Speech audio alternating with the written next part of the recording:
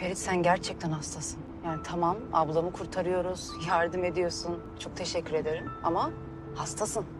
Kimyamı bozdun benim ya. E, kadınların üzerinde öyle bir etkin var. Doğrudur.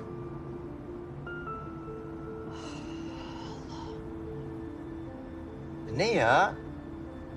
Ferit, dün gece o yaptıklarından sonra, bana yaşattıklarından sonra bugün bütün gün hiçbir şey olmamış gibi davranabiliyorsun. Benden de hiçbir şey yaşanmamış gibi davranmamı bekliyorsun.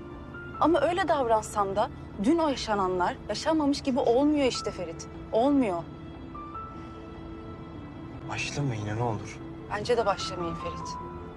Bence de başlamayın. Yani Seyran...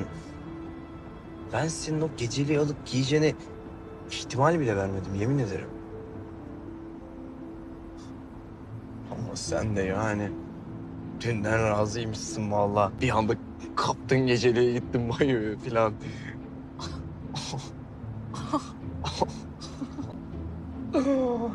yani Seyran başka bir mevzusun sen ya. Sen de çok başka bir mevzusun ya biliyor musun? Gerçekten yani. Ha, ilk defa bir konuda sana katılıyorum.